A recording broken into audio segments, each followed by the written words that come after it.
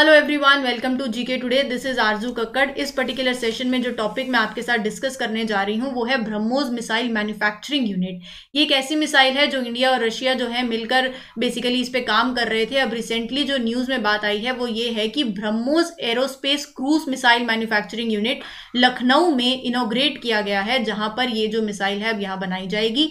अब इसमें इंडिया और रशिया का दोनों का ही पार्ट है तो अब इसके बारे में और जानेंगे, क्योंकि रशिया जो है स्ट्रैटेजिक पार्टनर है इस पर्टिकुलर पर्टिकुलर ओकेजन में और उन्होंने ही also supported defence minister the nuclear and other military deterrence of India to prevent external threats BrahMos missile project एक ऐसा प्रोजेक्ट है जैसे कि मैं आपको बता रही हूँ, जिसकी मैन्युफैक्चरिंग में इंडिया और रशिया दोनों कॉपरेट कर रहे हैं राइट तो ब्रह्मो मिसाइल के बारे में जाने तो एक medium range ramjet supersonic cruise missile है, जिसे आप लैंड से भी और सबमेराइन या शिप से भी और एयरक्राफ्ट से भी लॉन्च कर सकते हो। Fastest supersonic cruise missile world wide में it is one of the fastest और ये मिसाइल एक जॉइंट वेंचर है between the Russia's NPO and India की जो डीआरडीओ है उनके बीच में। अब ये जो आ, मैं आपको बता रही हूँ ना ये ब्रह्मोस एरोस्पेस मैन्युफैक्चरिंग यूनिट जो लखनऊ में इनोग्रेट किया गया है अब ये जो यूनिट है ये एक जॉइंट वेंचर इसमें भी बेसिकली एक जॉइंट वेंचर है जो कि रशिया और इंडिया का दोनों है। दोनों ऑर्गेनाइजेशन ने मिल इस एरोस्पेस को बनाया और अब अब ये जो ब्रह्मोस मिसाइल है इसका नाम कहाँ से आता है? इसका नाम दो रिवर से आता है। रिवर ब्रह्मपुत्रा इंडिया की तो इसलिए ब्रह्मोस और एमओएस से मॉस्कवा जो रिवर है रशिया की। दोनों रिवर्स के नाम से ब्रह्मोस मिसाइल को बेसिकली इस मिसाइल का नाम रखा गया है। इस मिसाइल के कुछ करेक्टरिस्टिक्स अगर मैं आपको बताऊँ तो ये एक एंटी शिप क्रूज मिसाइल जैसे कि मैंने आपको बताया लैंड से भी लॉन्च हो सकती है शिप से भी लॉन्च हो सकती है, लेकिन अभी तक लैंड और शिप से ही हमने इसको लॉन्च किया है सर्विस के अंदर। 2012 में एयर लॉन्च वेरिएंट जो है ब्रह्मोस का अपीयर हुआ और वो सर्विस के अंदर 2019 में ही एंटर हुआ है।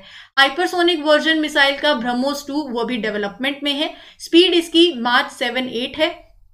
And missile is likely to be ready for testing by 2024 तो ये ब्रह्मोस की कुछ करेक्टरिस्टिक्स हैं।